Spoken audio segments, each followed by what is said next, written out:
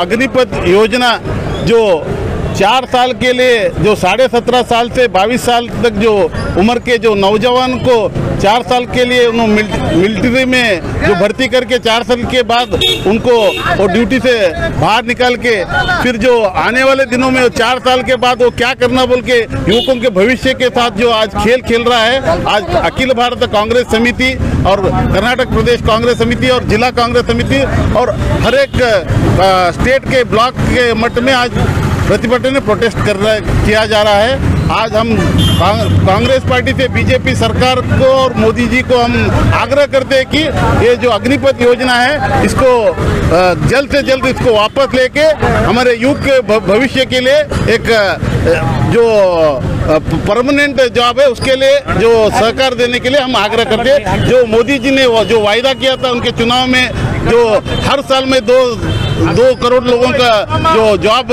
Vacancy मैं create करता हूँ। आज आठ साल हुआ। आज केंद्र सरकार आज सोलह करोड़ उनके नौकरी कहाँ है बोल के मैं मोदी जी से मैं पूछना चाहता हूँ। आज कांग्रेस पार्टी उसको तीव्र खंडन करते इस माध्यम आपके माध्यम से मैं बताना चाहता हूँ। एक केंद्र सचिव जो जवाबदारी से है, जो आम जनता जो आज देश में जो सवाल पूछे तो चार साल के बाद हम कहाँ जाना बोले तो बीजेपी ऑफ़िस में आपको सिक्योरिटी गार्ड कर कर तू बोल के आज वो एक जवाबदारी स्थान पे होने के बाद ऐसे स्टेटमेंट देते हम कांग्रेस पार्टी उसको तीव्र खंडन करते हैं। इस पूरे देश के युवकों के साथ आज कांग्रेस पार्टी खड़ा है, उनके साथ रहता है। में बहुत आक्रोश है। आज बीजेपी सरकार को न कान है, न आँख है, न जबान है। कुछ भी सुनने को तैयार नहीं। आने वाले दिनों में सरकार को जो आगे आगे आने वाले अ, दिनों में सरकार और केंद्र सरकार होंगे और राज्य सरकार को उनको अ, अवाम ये जवाब देंगे ಸರ್ಕಾರ ಒಂದೇ ಸರ್ಕಾರ ಸರ್ಕಾರ ಒಂದೇ ಸರ್ಕಾರ ವಿದ್ಯಾರ್ಥಿಗಳ ಭವಿಷ್ಯವನ್ನು ನಾಶ ಮಾಡುತ್ತಿರ್ತಕ್ಕಂಥ ಬಿಜೆಪಿ ಸರ್ಕಾರಕ್ಕೆ ವಿದ್ಯಾರ್ಥಿ ಭವಿಷ್ಯ ವಿದ್ಯಾರ್ಥಿಗಳ ಯಾವಾಗ ಭಾರತ ದೇಶದಲ್ಲಿ ಬಿಜೆಪಿ ಸರ್ಕಾರ ಅಸ್ತಿತ್ವದಲ್ಲಿ ಬಂತು ಬಂದಾಗಿನಿಂದ ಇವತ್ತಿನವರೆಗೂ ಕೂಡ ಎಂಟು ವರ್ಷಗಳ ಹಿಂದಿನಿಂದ ನಾವು ನೋಡ್ತಾ ಬಂದರೆ ಇಡೀ ದೇಶವನ್ನ, ಇಡೀ ಸಮಾಜವನ್ನ, ಇಡೀ ಜನರನ್ನ ಗೊಂದಲಕ್ಕೆ ಇರು ಮಾಡಿ ಸಂಕಷ್ಟದಲ್ಲಿ ತಿರುಗಿಸ್ತಕ್ಕಂಥ, ಇಡ್ತಕ್ಕಂಥ ಕೆಲಸನೇ ಮಾಡ್ತಾ ಇದೆ.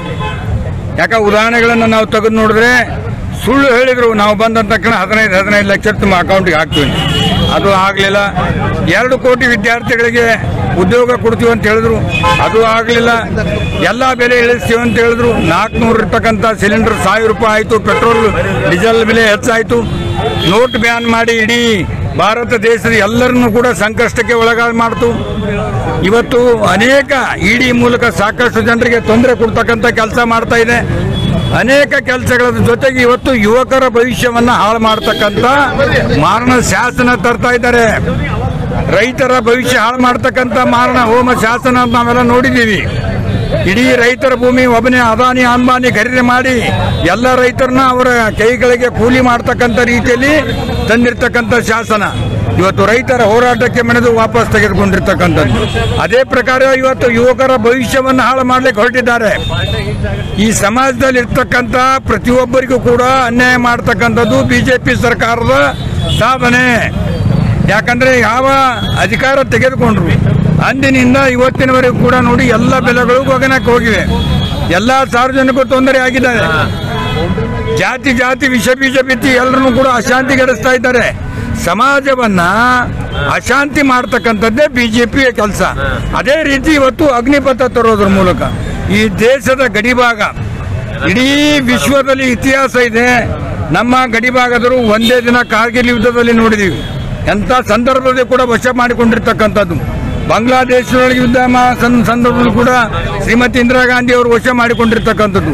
ಅಂತ ಬಲಿಷ್ಠವಾಗಿರ್ತಕ್ಕಂಥ ನಮ್ಮ ಸೈನ್ಯ ಇವತ್ತು ಎಲ್ಲ ಪರಿಣಿತರ ಒಂದು ಇಷ್ಟು ಕಷ್ಟದಲ್ಲಿರುವಾಗ ಇವರು ಕೇವಲ ಆರು ತಿಂಗಳಲ್ಲಿ, ಕೇವಲ ಆರು ತಿಂಗಳಲ್ಲಿ, ಕೇವಲ ಆರೇ ಆರು ತಿಂಗಳನ್ನ ತರಬೇತಿ ಕೊಟ್ಟು ಅವರ ಒಂದು ಭವಿಷ್ಯವನ್ನು ಹಾಳು ಮಾಡಿ ನಾಲ್ಕು ವರ್ಷದ ನಂತರ ಮತ್ತೆ ಮರಳಿ ಅವರು ಊರಿಗೆ ಹೋಗ್ತಾರೆ. ಅವಾಗ ಏನು ಮಾಡ್ಬೇಕು ಅವರು? ಏನು ದನ ಕಾಯ್ಲಿಕ್ಕೆ ಹೋಗ್ಬೇಕಾ? ಏನು ಮಟಕ ಆಡ್ಬೇಕಾ? ಏನು ಮಾಣಿಕ್ಯ ಗುಂಡಾಗಿರಿ ಮಾಡ್ಕೊಂಡು ಕುಂದಿರ್ಬೇಕಾ?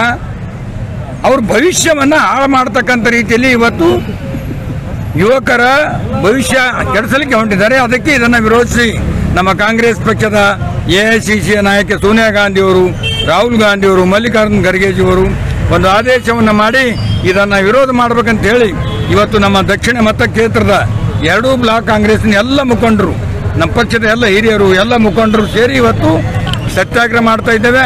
ಇದನ್ನ ವಿರೋಧ ಮಾಡ್ತಾ ಇದ್ದೇವೆ. ತಕ್ಷಣ ಮೋದಿಯವರಿಗೆ ಮಾನ, ಮರ್ಯಾದೆ ಏನಾದರೂ ಯುವಕರ ಬಗ್ಗೆ ಭವಿಷ್ಯದ ಬಗ್ಗೆ ಕಿಂಚಿತವಾದರೂ ಅವರಿಗೆ ಅಭಿಮಾನ ಇದ್ರೆ ದಯಮಾಡಿ ಇದನ್ನ ವಾಪಸ್ ತೆಗೆದುಕೊಳ್ಬೇಕು. ನೀವೇನು ಮ್ಯಾನಿಫೆಸ್ಟೋದಲ್ಲಿ ಭರವಸೆ ಕೊಟ್ಟಿದ್ದೀರಿ. ಪ್ರತಿ ವರ್ಷ ಎರಡು ಕೋಟಿ ವಿದ್ಯಾರ್ಥಿಗಳಿಗೆ ಉದ್ಯೋಗ ಕೊಡ್ತೀವಿ ಅಂತಕ್ಕಂಥ ಮಾತನ್ನ ತಾವು ನಡೆಸಿಕೊಡ್ಬೇಕಂತೇಳಿ ಈ ಮೂಲಕ ಒತ್ತಾಯ ಮಾಡ್ತೀವಿ.